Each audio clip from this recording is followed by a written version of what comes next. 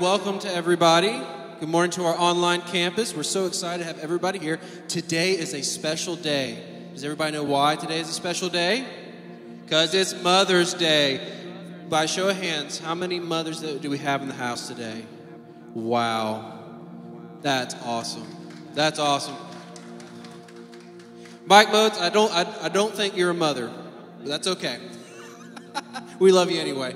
I want to read a verse for you. Oh, by the way, Pastor JP wanted me to let everybody know that there are plenty of baked goods in the back.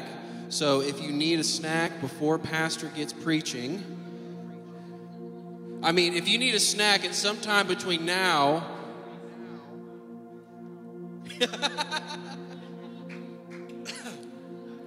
Amen. The, uh, the baked goods are $1 and the coffee is $2. I don't know if they're still doing coffee, but there's definitely some cookies, and I can say that they are fantastic. So, but I want to read from uh, Luke chapter 1, verses 46 through 48.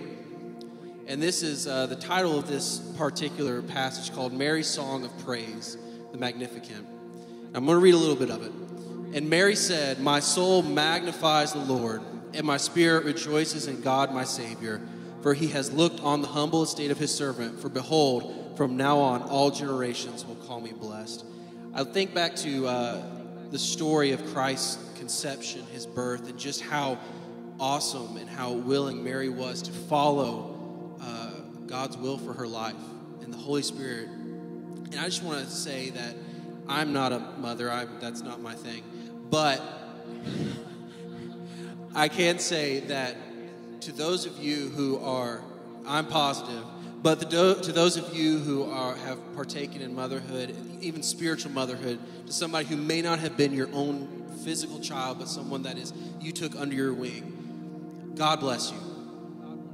And I'm, I'm, I'm of the generation that's going to call you blessed. You are blessed.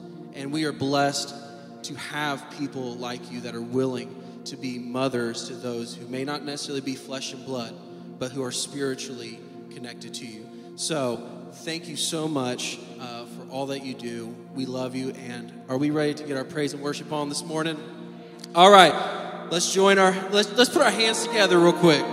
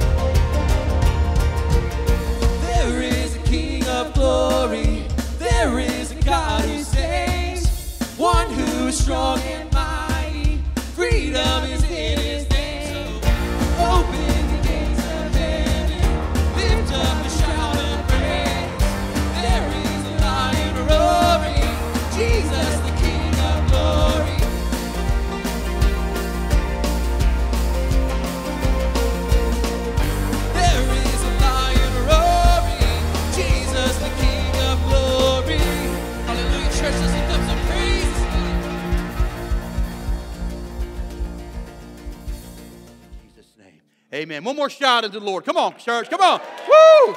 Hallelujah! Glory to God. Glory to God. You may be seated in the house. Wow, I don't. What, and am I at the right church this morning? Man, what praise! What I'm joking. Of course, I'm at the right church. I am so excited to feel the sense and to worship and to praise and to glorify next to you. I'm telling you something. God is up to something in our church. I don't say that as a just as as, as prophecy or or speaking it forward in- out of hope. I mean, God is up to something in our church. And if you're not feeling it this morning, I, I, I get some blood from the person next to you. Get a transfusion or something. All right? Because I'm telling you, the, last uh, probably the last two months of our our coming together and fellowshipping, even in our small groups, hearing great testimonies of what God is doing in miracles. And I need you to do me a favor. You know, I preached about six weeks ago on miracles. I think it's been about six weeks ago, and we were believing for miracles, preparing for miracles. I've had so many people who have approached me and said, Pastor, I prayed for this, and this took place. And, and I'm talking about miracles here. I mean, all answered prayers are miracles, but I'm talking about things that looked impossible, things that you were praying for for healing or, or doors opening. And if that's you, I, I, I'm not a very good um, historian, I, and I need to be because I think it's important for the for the legacy. I'm preaching on legacy today. The legacy of our church. I need you to document that for me. and give me a copy of it. I, I have I have tongues and interpretation of our forefathers or our foremothers, I should say. It's Mother's Day uh, in, in a folder of what has been prophesied over 60 years, maybe even 70 years ago, over this church, and we're starting to see the things that they prophesied and believed God for coming to, fa- coming to pass in our body. And so I really need, need you to do that. Can you do that? If God's opened the door, performed a miracle uh, that we have prayed for, that you've agreed for, please will you document that and get that? It's not so I can say, hey, look what God's doing. it's so that we can, it's important that we know. Revelations tells us that when the enemy comes against us, that we're going to overcome him through two things the blood of the Lamb, word of our testimony, see. And we have really been praying for a lot of things in our, in our, in our church lately. And so God is doing some healings, healings and things like that. And I just give God the praise and the glory. Amen. Good morning, church. I'm so glad that you are here this morning. It's good to see the house almost full. And I know we've got a lot of guests here today. Welcome. We're so thankful for you to come, whether it's just your Sunday, you felt like, hey, I want to try out that little church on the, on the corner down there. I guess we're not on the corner, but we used to be at the end of the road, but now they've paved it on down. But you know, thank you for choosing us today. We, I take it, we take it very seriously that you are in the house with us today. Our goal is just simply to set an atmosphere where you can encounter the living God. We get a little excited at times. I hope that's okay. You know, uh, God, God chastised me a long time ago when Alabama won the national championship a couple years ago before it became a normal thing. Before it became a normal thing, I never forget Alex and I, and I think Trevor were watching. It was late night. That's when they were still showing it on regular TV. And, and when they scored a touchdown to go ahead, I think it was against Clemson. I forget which one it was. Man, I ran 11 o'clock at night. I ran out my front door hooting and hollering through my street in my PJs. you know what? I didn't care. And I'm thinking, Lord, chastise me. If you didn't care about that, then why do you care about what people think about you when you get excited when I show up in your presence? Amen? So we're excited here. I am so excited, and I'm so glad you all are here. To our moms, thank you so much for being moms.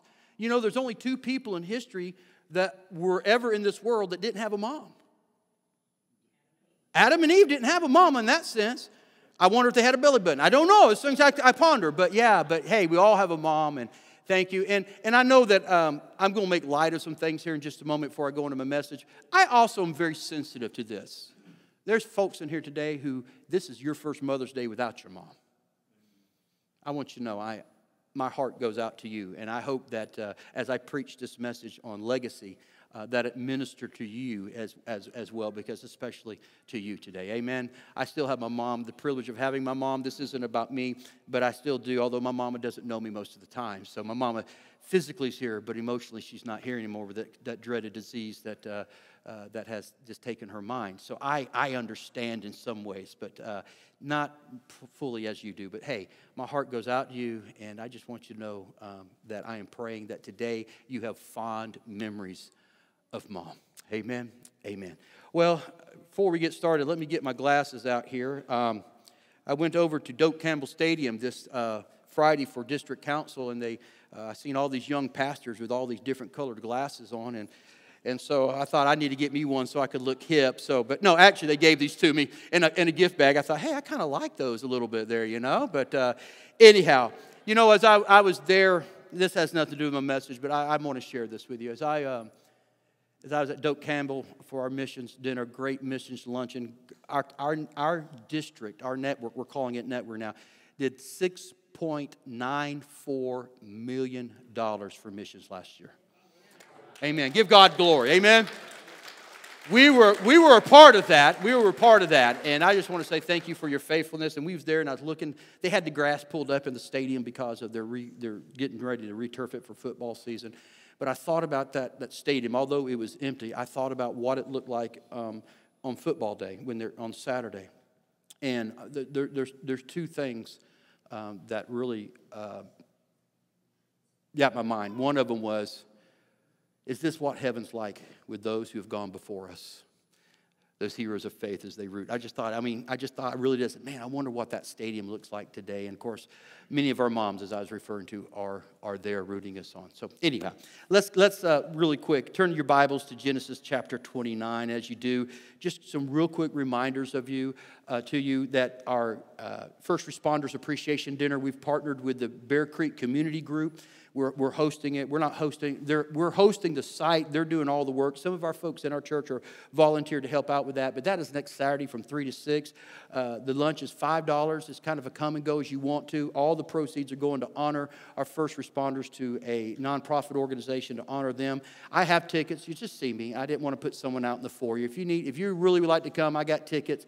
Uh, if you can't afford tickets and would like to come, come see me, okay? I've, I bought some tickets ahead of time and just want to make sure that we honor these first responders. Also, next Sunday evening, I am so excited about this.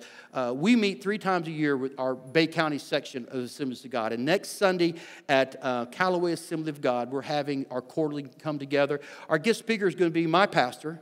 Uh, our superintendent, Tommy Moore, is going to be speaking. The emphasis, all the groups, we're going to have children's ministries going on, youth ministries going on, adult ministry going on, and all three of them is going to be emphasizing the Holy Spirit as we approach uh, Pentecost Sunday. And so I, th- I know it's going to be a great time.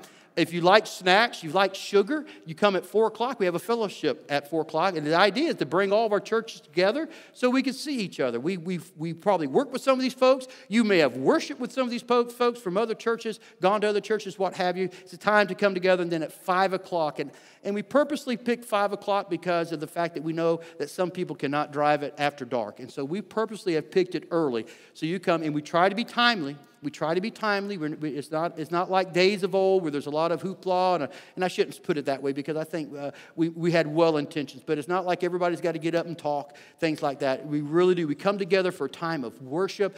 And then Pastor Moore is going to be bringing a, a very timely word um, and emphasis on the Holy Spirit. Amen. Finally, before we get to our message today, and boy, I'm excited about this message. I hope it comes out um, the way God put it in my heart. On Mother's Day, we always take up a special offering. Well, we don't take up offerings anymore. You give. We just have the, our, our uh, hospitality team as you leave. Uh, we really didn't push this this year because it's become an annual thing. Um, but just know today is uh, we're, we're honoring moms as we've done every year with One Day to Feed the World. And so if you feel compelled to give what One Day to Feed the World is, it, wor- it works in conjunction with, it's an arm of um, Convoy of Hope. And what they encourage you to do is give one day's salary. If you can't give what you can, and it goes towards feeding children around the world, even here in the United States that don't have food. It's a very impactful ministry. And uh, so if you feel led and want to be a part of that, just if you're giving on tithely, just put one day to feed the world, convoy hope, anything like any emphasis like that. Uh, Christy will see that. If you want to give uh, through the offering, just make it out to Bear Creek, and we'll make sure we send one offering in to one day to feed the world. We started this probably eight years ago uh, on Mother's Day, just thinking about how would it feel to be a mom and not be able to feed your children because of poverty, you know? And it's a, it's a, it's a great ministry. I've seen it in person when I went to Haiti several years ago, and just want to be, uh, be a part of that. Okay, enough of the commercials. I think our sponsors have paid for the day. So we want to get started here with this message. But before we do, I got to share some funny things with you. You know, I'm not a mama. I know some of y'all have used my name in that context. Uh, all right, just go with me. I know you haven't. You better not have. You've thought it, but you haven't said it. I know. Uh, but I thought this is kind of interesting. The stages of motherhood. I think you moms can relate to this. At four year olds, our kids think this about mom my mom can do anything. You know, isn't that true? Mom can do anything. By age eight, my mom knows a lot. By age 12, my mom doesn't really know quite everything, not as much as she thought she did. By age 14, God help us in those adolescent ages, right? Naturally, mom doesn't know that either. Age 16, mother, she's hopelessly old fashioned. Yeah, you're catching. At 18, that old woman, she's way out of date. By the way, no kid would say that in her mother's face, by the way. Uh, though You may do it one time, right? Call her old woman, right? At 25, well, she might know a little bit about that. At age 35, before we decide, let's get mom's opinion. By age 45, wonder what mom would have thought about it. And of course, at age 65, wow, wish I could talk it over with my mom. Time goes by so quick, doesn't it? It does, really does. So, um, do I dare go here? certain mom facts. These are certain mom facts about moms that have about young boys. How many y'all have young boys or had young boys, all right? So these are things you ought to know. A king size waterbed holds enough water to fill a 2,000 square foot house four inches deep. You should know that, right? You, sh- you should know that, right? Um, I definitely know this one. Uh, Trevor is my youngest son. Uh, helped us learn this when we was living with my in-laws when we was building a house. When you hear the toilet flush and the words "uh-oh," it's already too late. It's already too late. Man, I had to clean out a toilet. Oh, but bad. It wasn't my toilet. Anyways, neither here nor there. All right. A six-year-old boy can start a fire with a flint rock, even though a 36-year-old man says that only happens in Hollywood. Yeah, yeah. Certain Legos will pass through the digestive system of a four year old boy.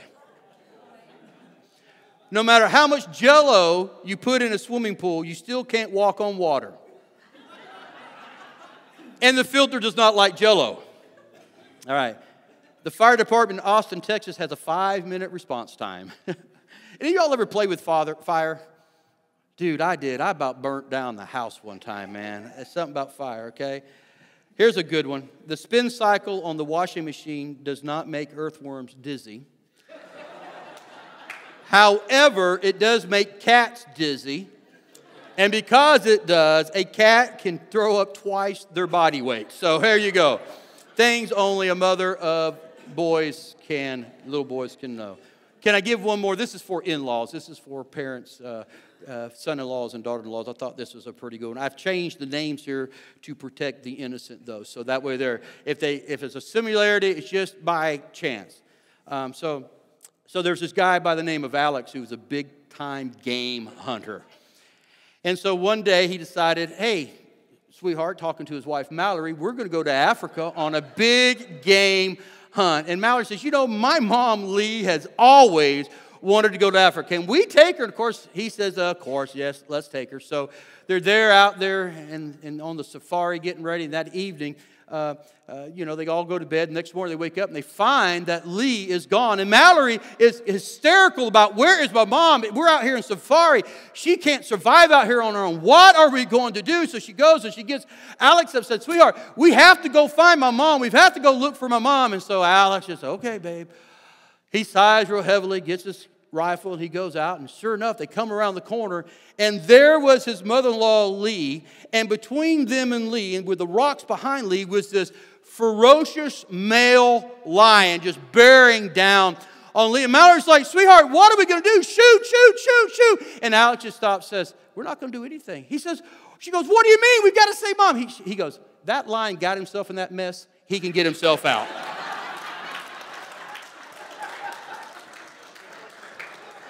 Anyways, anyways, all right, all right. Are we there now? I know it's like, Pastor, you, you, you had an hour and you've wasted 15 minutes on announcements and, and comic relief. That's okay. I hope today, not to be brief in the sense of being short, but just to be poignant to, to what this message is about today. I just want to first of all say just happy Mother's Day to all of our moms today. As you leave and honor, our women's ministries has uh, purchased a little candle for each of our moms. And if by chance uh, you're not a mom and you still want a candle, we purchased enough of them. Please, as you leave, our, our hospitality team will hand each one of you a candle as you go. Just don't play with them under you know, you know, I don't want to go into my life story with candles and fire. I've already mentioned it. Just be careful how you use them. So, but anyways, well, this morning, um, I want to talk to you and I want you to think, and, and, and listen, this message is for everybody today. I'm going to focus in, drill in on moms. Okay, I'm going to drill in on moms today. I love the fact that we have a mom up here on the front row and her little one is modeling her in worship this morning. Remind me of her name again? Cassie. It's so beautiful seeing Cassie just raise her hands and worship God. But we all, we, I won't speak to all of us because whether you're a mom, you're a dad, whether you're a salesperson, whether you're a nurse, uh, grandparents, obviously, uh, whether you're obviously in ministry. And I, and I, really, I want all my educators, whether you are a secular educator as in a teacher or you're a Christian educator, I want you to hear the heart behind what God's laid on my heart for you today. But this is for everybody, and especially for our moms, because today I want to talk to you about your legacy. Your legacy. Legacy meaning this, defined this way the mark or impact an individual has had on people and places. The impact that you have had on individuals, people, and places. Whether you're just getting started out in life or been living as long as Brother Glenn's been alive, you are building and you're leaving a legacy. The challenge is, is a lot of times we don't think about our legacy until we get later in life. For me personally, I'm not, uh, as I keep being reminded, I'm not old. Of course, that's coming from people who are older than me, and I appreciate that. Uh, I've called old this morning by somebody younger than me, so I guess it depends on, on perspective. Uh, but as I'm getting older and I'm, and I'm realizing it in my own personal life, whether as a, as, a, as a husband of almost 35 years or as a parent, I've been a dad for 28, almost 29 years, um, a pastor, your pastor for 12 years, you start thinking, and you know, I've got fewer days ahead of me than behind me unless God really blesses me with a long life.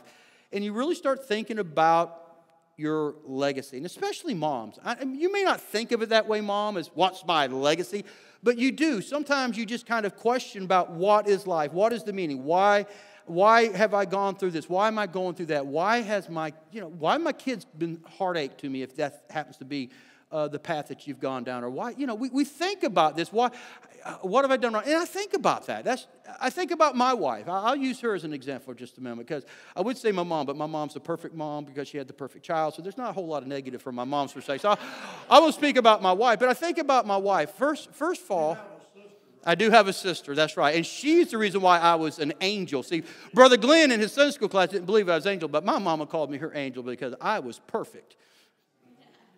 And when you have a brother and a sister, and I trust me, that are just, anyways, uh, anyways, I'll leave that up for you and your siblings to talk about. But anyhow, but I was, um, I think about my wife, for instance, and I'm not here to, to, to, to necessarily to build her up, tear her down. Hey, Bree, we have a missionary in our midst. Hey, welcome. Thank you for being with us this morning. She is a missionary associate to Madrid, Spain.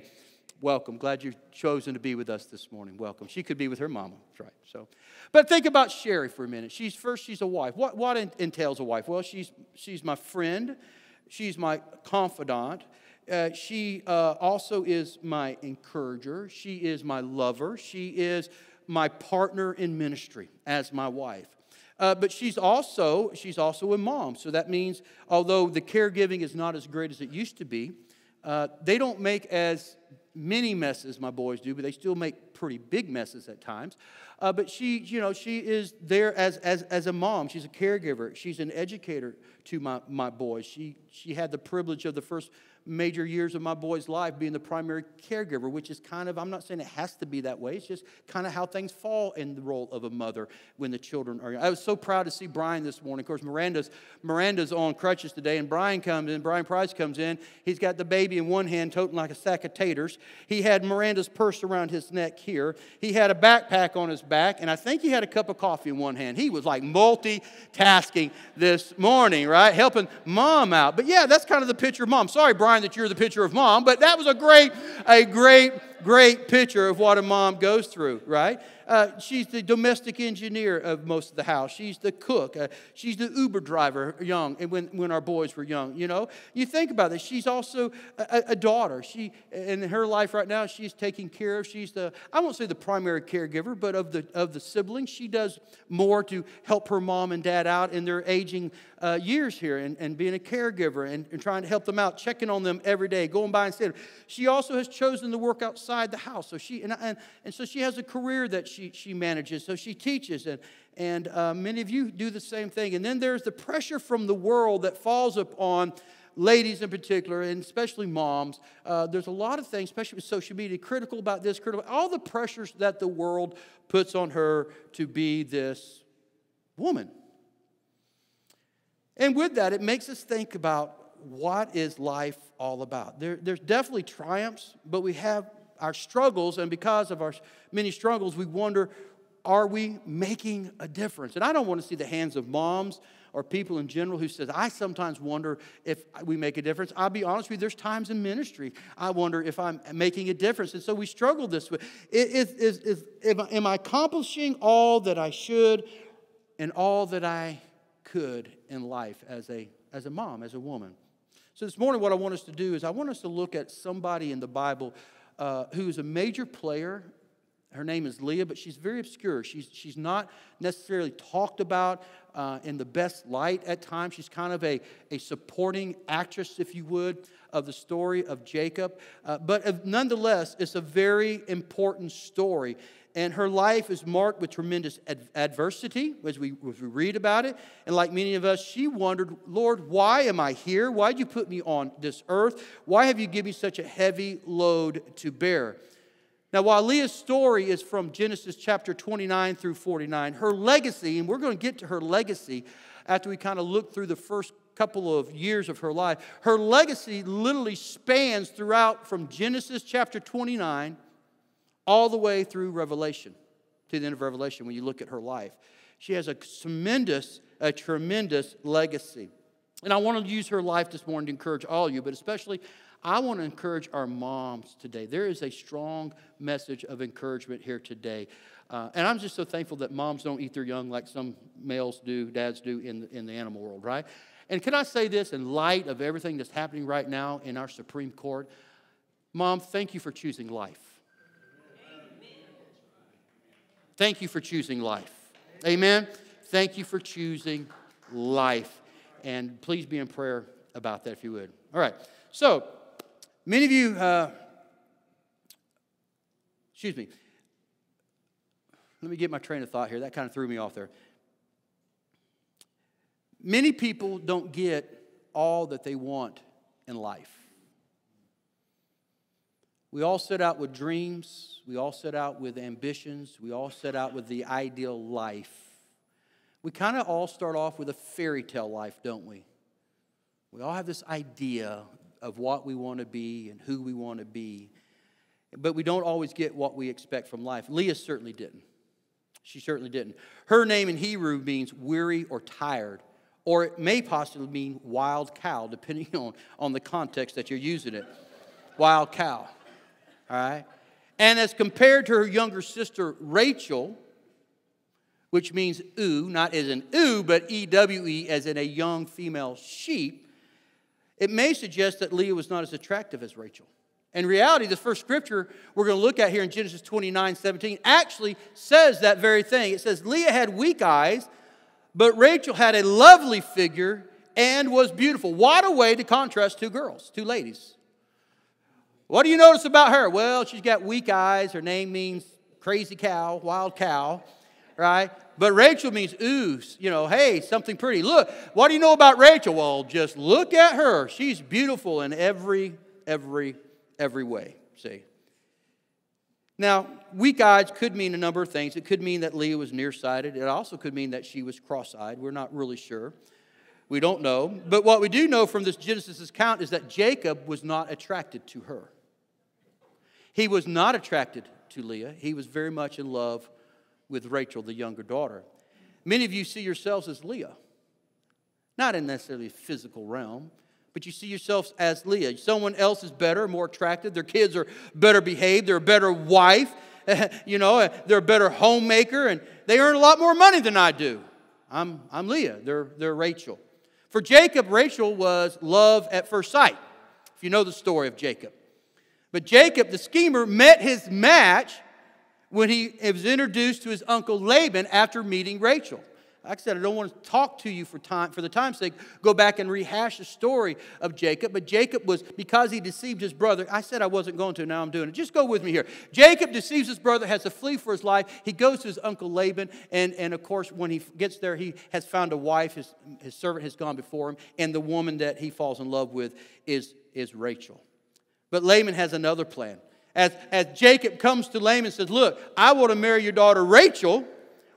What can, or better yet, I want to go to work for you. And, and then Laban says, Well, what can I do to, to pay you? And, and, and, and Jacob says, Hey, listen, how about if I marry your daughter Rachel? He says, You know, that's fair. That's fair. I'm going to let you marry my daughter Rachel after you have worked for me for seven years.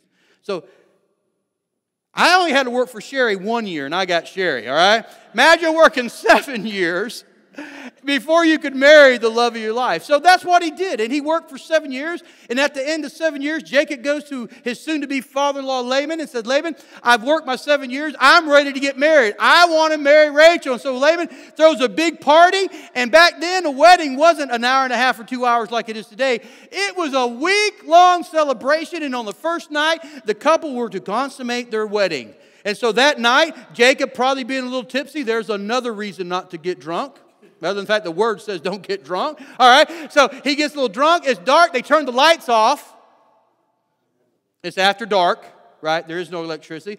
And so she comes in veiled. You say, How do you know this? Traditionally, customly, this is what I do. And so Laban switches Leah, the older daughter, for Rachel and sends Leah into this tent, and Jacob doesn't realize it. And so Jacob consummates, we got young ears in the house, the marriage with Leah, not knowing it until the break of day. Genesis 29 25 explains it best. When morning came, there was Leah. When morning came, Jacob says, What in the world just happened? I don't have a memory of anything. What? How did this? I don't understand. And the goodness gracious, I who did it? Right? How do you explain it? You don't. So Jacob confronts his father in law, Laban, and Laban agrees, okay, I'm going to also give you Rachel. You can have both, which, there again, I don't know how the man could manage one wife.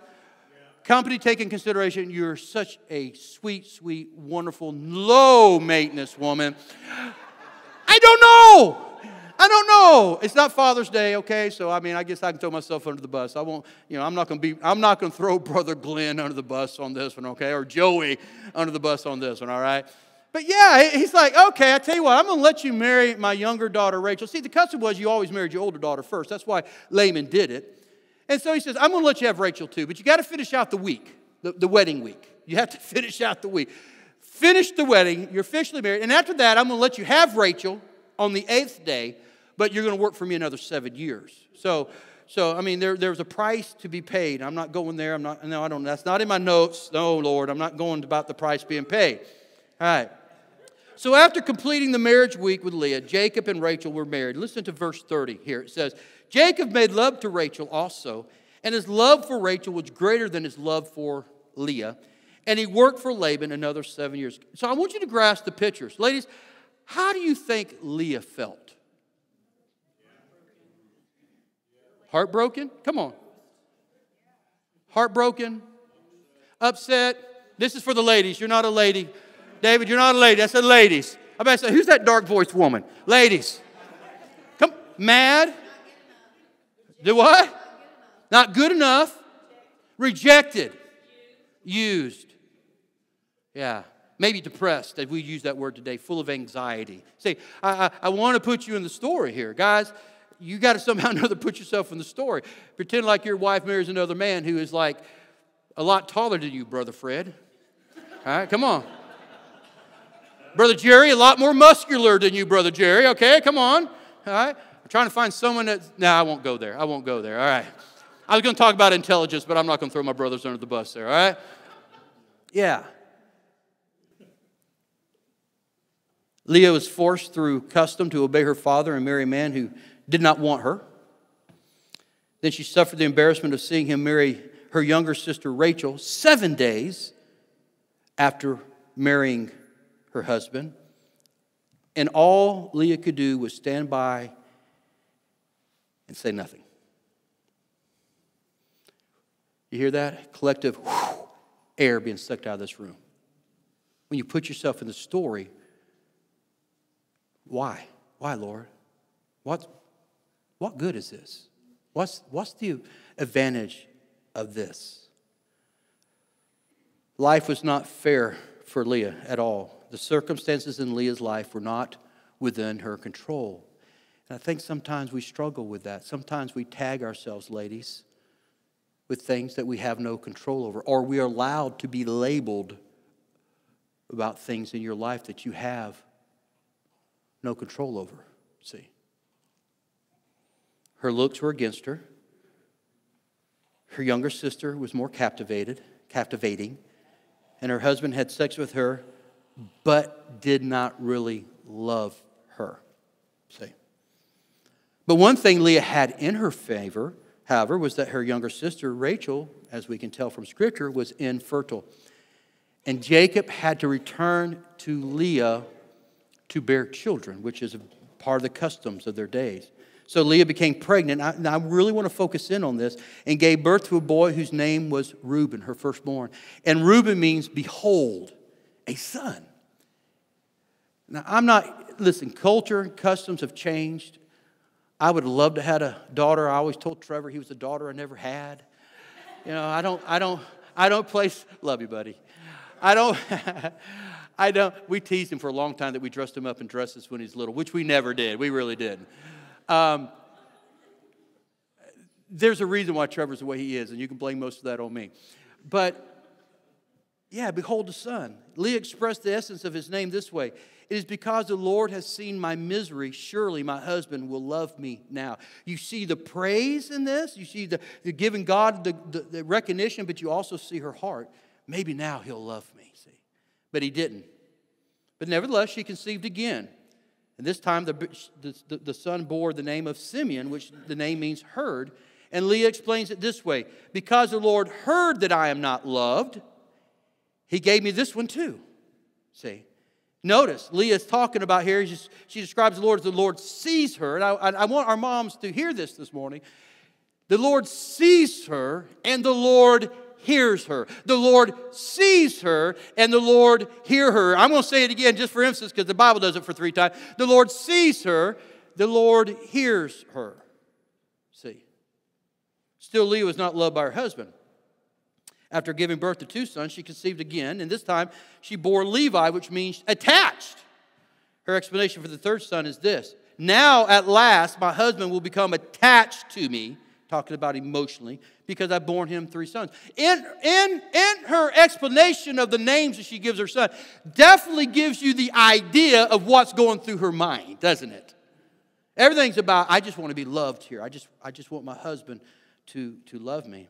But that didn't happen this time either. By the time Leah's fourth son is born, she seems to have given up on Jacob loving her, and she names the boy Judah, which means praise. I love that. And here's the reason this time I will praise the Lord. Her faith in the Lord. Notice that each time a son is born, she refers to the Lord. The Lord hears, the Lord sees, and this time it's about praise. Her circumstances may have brought her misery and lack of love from her husband, but her view of God was one of trust one of trust. If you read the story of Jacob, Rachel, and Leah, you'll know at the end of seven years of, of earning Rachel's hand that Jacob decides to take his family and take them back to Haran, take them back to his homeland. And in doing so, you'll find that Rachel goes back into the tent of her father and steals their false gods. But if you read that, Leah has nothing to do with that. Why? Because Leah is faithful to God, the one true God. See, her trust is in the Lord. She couldn't trust in her husband in the sense because he really, she was just there as a, as a means to produce children for the family, for the clan. After the fourth son is born to Leah, Rachel gets upset. So what she do? She can't bear children, so she gives Jacob her handservant, Bilhah. Now, I'm not here to talk about right or wrong. This is not the purpose of this message, but that was a custom of their days and just gave Jacob, her handmaiden. Why? Because part of a woman's identity was children, especially men. I didn't finish that thought, but boys were valued more than girls were. And so we see that. So she hands it to him, and Bilhah gives Jacob two sons, Dan and Naphtali. Not to be outdone, you're talking about reality TV? This is reality TV. Not to be outdone, Leah's womb temporarily has been closed, so she gives Jacob her handmaiden, Zilpah, and through her, two more sons are born, which is Gad and Asher. I mean, this family's growing pretty quick here. God now reopens Leah's womb, and she bears two more sons, Ishkar and Zebulun, plus a daughter named Diane, or Dinah. And finally, Rachel has Joseph and one more son as she gives birth to Benjamin in the city of Bethlehem. We find Rachel dies at childbirth. And through these two women and their two handmaidens is how the 12 tribes of Israel came to be, plus Dinah, the daughter. And I want you to see that.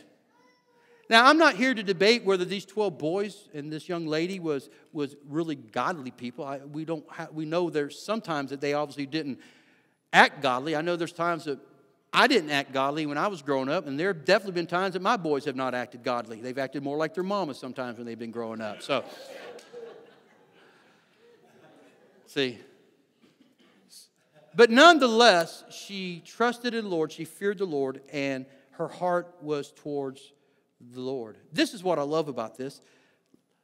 As we find, Rachel died in childbirth, but Leah obviously outlives Rachel.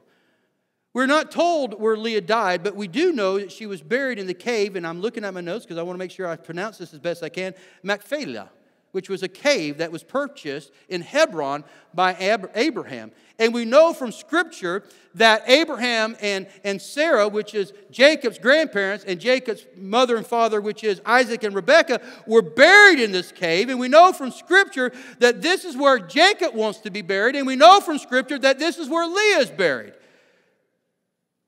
kind of finish the story out for you, you know that the, there was a, there was a, a, I'm trying to put all the dots together because I don't know how many of y'all know your Bible history, but over time the clans grow. Jacob uh, corrects his relationship with his brother. He, he takes back, goes back to the land of Canaan, and then because of a, of a, a drought, they end up going to Egypt. Joseph is thrown into the pit, stolen trade, and they end up in Egypt. Jacob dies in Egypt. But he says, when I go back, when you take my bones back, it'll be over 400 years, and they did it. I want to be buried, Genesis 49 31. There, Abraham and his wife Sarah were buried. There, Isaac and his wife Rebecca were buried. And there, I buried Leah, and he's given him instructions, and that's where I want to be buried. It's interesting when you think that. In the end, Leah has won Jacob's love. But looking back, we're tempted to say that Leah, what a tragic and difficult life. And it was tragic and difficult. Yet Leah's story teaches us that the effects of your life cannot be measured within the time span of just a few decades that you're alive. And that's what I want you to focus on today, moms. Anybody for that matter. Focus on that today. Cannot be measured in your lifetime. Leah's story, like all others, fits into a large range tapestry of God's weaving. Now, let's just look for just a moment before I close out. Let's just look for a minute. I, I know this ain't a shout me down, hurrah, hurrah, but let's look at Leah's legacy for just a moment. What was her legacy? Well, the priestly line comes from Leah's third son, Levi. From that line comes Moses, comes Aaron, comes Miriam. Without Leah, there's no Levi. Without Levi, there's no Moses. There's no five, five books of the Bible, the first five books of the Bible. There's no Ten Commandments. There's no Exodus from Egypt. There's no prototype of the role of the high priest upon which Jesus would model his intercessory ministry to the body of Christ. Without Leah, there's no Levi, and without Levi, there's none of that. What a heritage. But it doesn't stop there. What a legacy, but it doesn't stop there. Centuries after Leah's death, the elders of Bethlehem pronounced a blessing upon Boaz. Remember Boaz? The story of Boaz is really the story of Ruth, the Redeemer, right? The kinsman Redeemer. And as he's about to marry Ruth, they, they come to him and, and, and, they, and they bless him. And of course, he's a descendant of Leah. And they, and they come and, and, and they bless him. And this is what they say in Ruth chapter 4, verse 11. May the Lord May, may, the Lord make the women who is coming into your house, the woman who's coming to your home, like Rachel and Leah, who together built up the house of Israel. And when you look at that, Leah did far more to build up the house of Israel than Rachel. It was Leah's fourth son, Judah, who became the ancestry to King David and King Solomon. So without Leah, we don't have Judah, praise. Without Judah, we don't have Boaz. Without Boaz, we have no David. Without David, we have no Solomon. If we don't have these, we don't have the Proverbs. We don't have the Song of Solomon. We don't have Ecclesiastes. I'll get that out. Ecclesiastes, I can't speak. I'm educated. My tongue can't keep up with my brain. It's that iced coffee. From Leah comes not only the high priest, the priest, the Levites of Israel, but also the kings of Judah, including some of the greatest kings of all time Asa, Jehoshaphat. I told you I have another son, it's Jehoshaphat. We're going, I want one more son. Jehoshaphat, Uzziah, Hezekiah, and Josiah. I'm praying. I'm praying. If nothing else, I have a grandson. He's not going to answer my prayer. All right. Additionally, Isaiah, Jeremiah, Ezekiel all appear to be priests and therefore descendants from Leah. I'm trying to point you out here that her legacy goes far beyond the few years that she had in this world, on this earth, as being the wife to Jacob. She, she played a major part. Nehemiah, Ezra, all these are all part of her lineage. Without them, think about how much of the Bible wouldn't be written. Think about how much of, uh, we wouldn't know about God, but through her, her legacy is found in this book that we so treasure and that we read and we strive to live by. See, that's her, her legacy. Ultimately, the key players in the Christmas story. I know it's the wrong time of year, but think about it. Hey, it's Christmas in May. Christmas every time of the year. Mary and Joseph belonged to Judah, the fourth son of Leah. Elizabeth and Zechariah belonged to Levi, the third son of Leah. Their son John the Baptist likewise comes from Leah. Anna, the old woman in the temple who kept talking about that the Messiah was coming, who's prophesying over this, who blessed Jesus, she also comes from Asher, which came from Leah's handmaiden, Zilpah. See? In summary, without Leah, there's no Judah. Without Judah, there's no David. Without David, there's no Jesus. Without Jesus, there's no salvation. The people of the Christmas story are mainly Leah's family, offspring. What a legacy. What a legacy. Furthermore, in case you haven't quite received the message that God wants you to hear today, the spreading of the gospel to the Gentiles also comes from another of Leah's descendants, Barnabas. He came from the, the family of Levi, the tribe of Levi. And for all you that are maybe a stepmama or you have chosen to be a mama by adopting, Okay, this is something a lot of people don't think about. But think about this when Rachel died, who raised Rachel's children? She had handmaidens, but Leah became their, their mother. Think about that. And so from, from um, Benjamin came the New Testament apostle Paul, who wrote two thirds of the New Testament because of the influence she had in raising Rachel's children. See, what a legacy. You cannot measure the impact of Leah's life within her short earthly lifespan. You cannot measure your life in that way either, see. And neither can you judge things on the external appearance. Rachel was the good looking one, but God looks deeper than the external looks. Ah, he looks at the heart. Leah had a heart after God. And because of that, what an impact, what a legacy she's had in our world even today. So, what can we take away from Leah's story? We need time and distance to fully understand what God is doing through our lives. We can't see it right now. It's only after we're gone. This is my personal theology. I know one day as a child of God, I'm going to stand before Christ and give an account of my life. My salvation won't be in the balance. I'm saved, I'm fully saved. We'll be fully saved on that day. But we're judged for what we did and didn't do. And I think part of that judgment, part of that time, is God's going to reveal. And I think part of it's going to be this is what your life, this is what I did through your life because you made yourself available. That's true about every one of us. Every mom, every dad, every teacher. Come on. Whatever you did with your life, whatever your calling is. And motherhood is a calling. Motherhood is a calling. You better be on your knees and pray and ask God's help if you're a mom. It is a calling.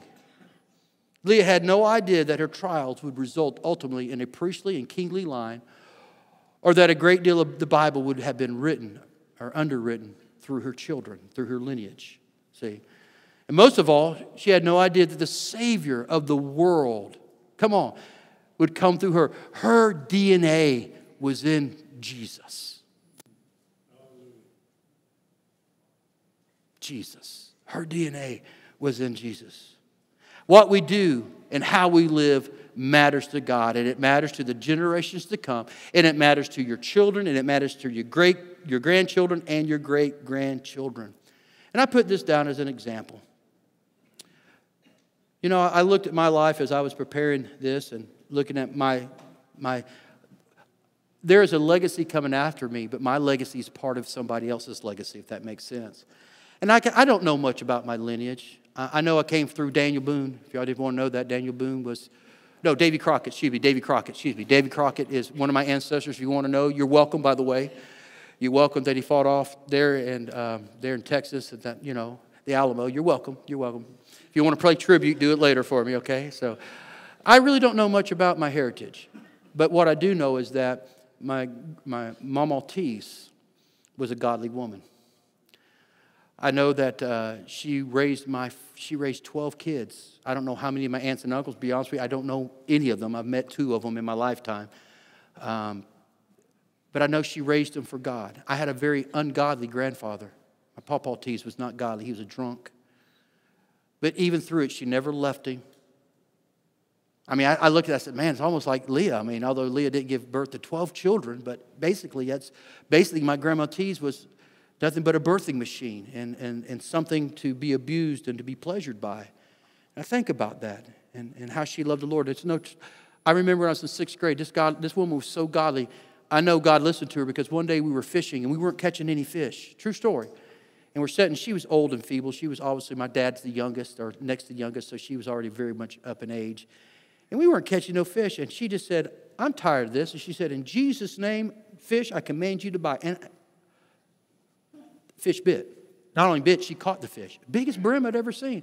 She put it in the basket and she did that three or four more times. And every time she did it, she caught a fish. She says, Well, I'm done. I've got enough for a meal. And you know, you say, That's silly. That's my memories of my grandma, though.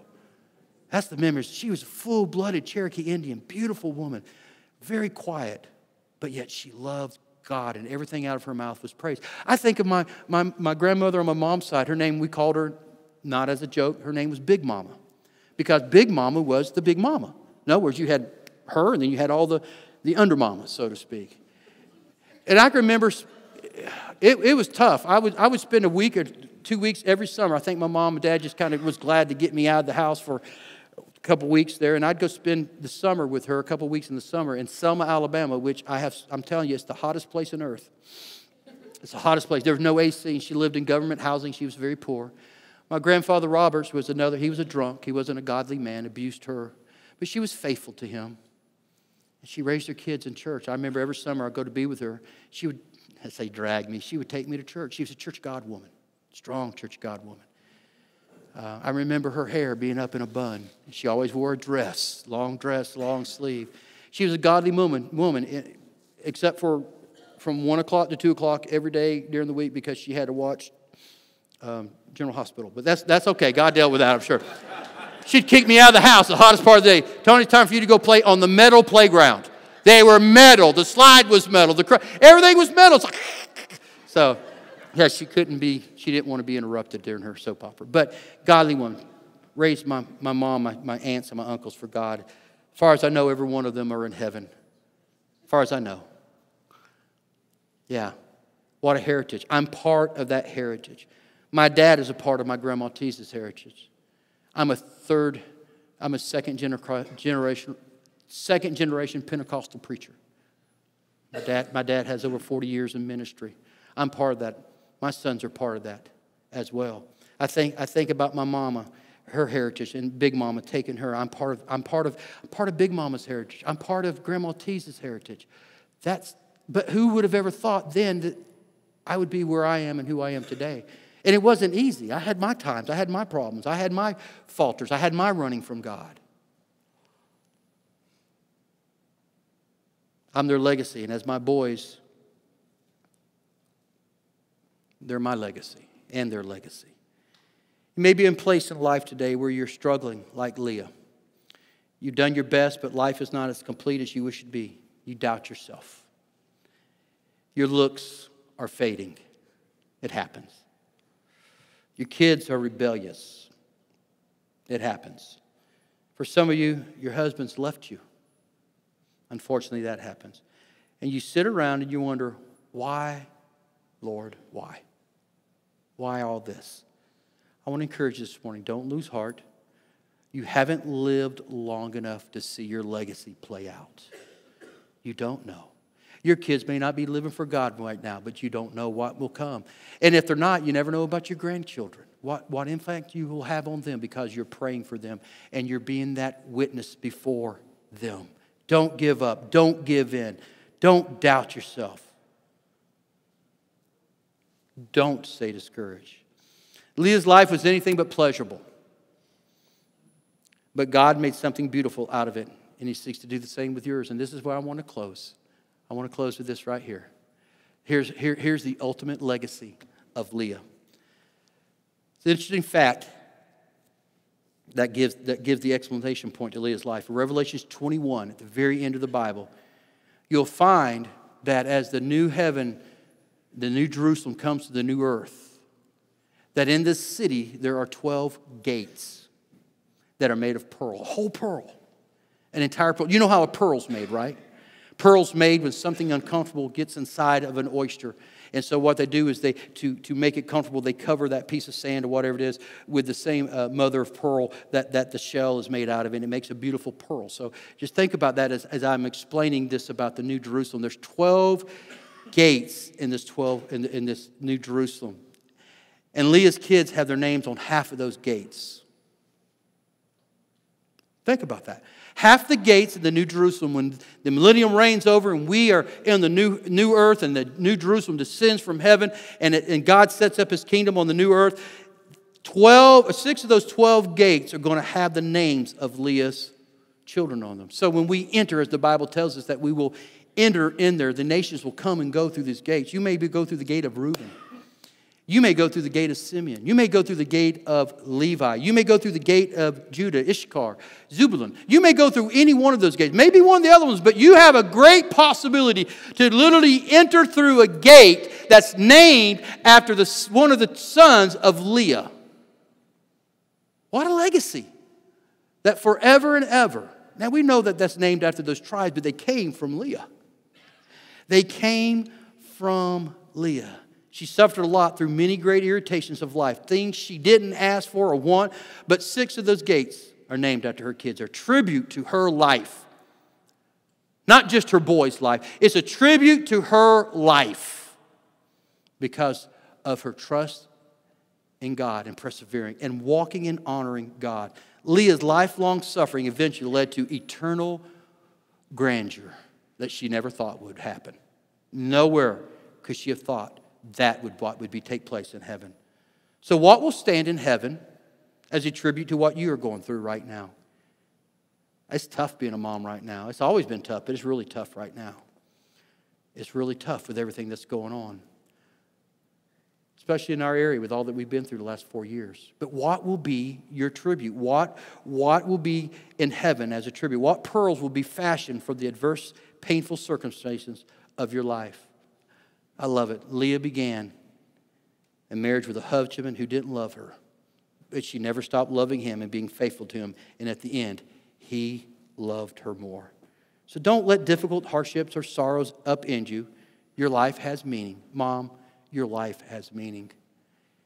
You have the potential, regardless of even, even as your kids grow older. I know some, some of you mamas, your, your, your, adult parent kids came to be with you, they're, they're parents themselves. You still have an influence in your kids. I want to remind you, children, that it says to honor thy mother and thy father. It doesn't say do that until you get 18 and move out. Honor. Honor thy father and thy mother. So I want to encourage you today, moms. We don't know, do we? My grandma Roberts, my grandma Tees, they had no idea that one day I'd be a Pentecostal preacher pastoring in the great metroplex of Bear Creek. No idea. But nonetheless, here I am. Here I am. And you may be saying, but my kids aren't serving God right now. It's God's will that none should perish. So it's God's will for your children to be saved. Pray. Pray. Stabani, don't you give up. You keep praying. Amen. One day Terry's going to give his heart to the Lord, right? No, you know, we had that conversation earlier. You keep, don't give up. Amen. Moms, thank you for being who you are. Thank you for, don't, you don't know what your legacy is. Only time will tell. It may not be in your lifetime. Now to the kids. What kind of legacy? You are their legacy. You are their legacy. What does your life say about the investment that your mom has made in your life? How are you honoring your parents? How are you honoring your mom? What impact are you? What part, what part of your mom's legacy are you going to play? How is her legacy going to continue through you? See? Only time will tell. Only time will tell. Amen. Stand with me all across this room if you would. Matter of fact, this is what I want. If your parents are in the house, if your mom rather is in the house, I want you to go to your mama. Go to your mama. We do this almost every year, if not every year. Go to your mama. We're going to make room. I'm not going to be long. We're about to close. I'm going to close in a prayer, but I want to close with a blessing. I want to close with a blessing. I want you to bless your mama. I want you to get close to her. Hold her hand. Put your arm around her. Lay hands on her in a godly way in a godly way. Some still moving. If you're here today and your mama's gone on to heaven, thank God for the thank God. Thank God for the influence she's had in your life. I'll say this if you had a mama that wasn't the best example, that's a reality. What do you do about that, Pastor? Thank the Lord that you're not going to be like her. And I don't mean that in an ugly way. I don't mean that in an ugly way. What the enemy meant for bad, God can use for good. Father, I thank you today, first, for your presence that we have felt in this room, Lord, as we've lifted up voices in celebration and worship of you, God. You're such a good Father. Oh, God, you're a gracious God, a God of full of love and mercy and grace, Lord, full of blessing, God. Thank you so much, Father, for visiting and with us today, Lord, and entering this place of worship, God, inhabiting our praise, God. I thank you, Lord, for the lives that have already been touched, God, through our worship, through the presence of your Holy Spirit.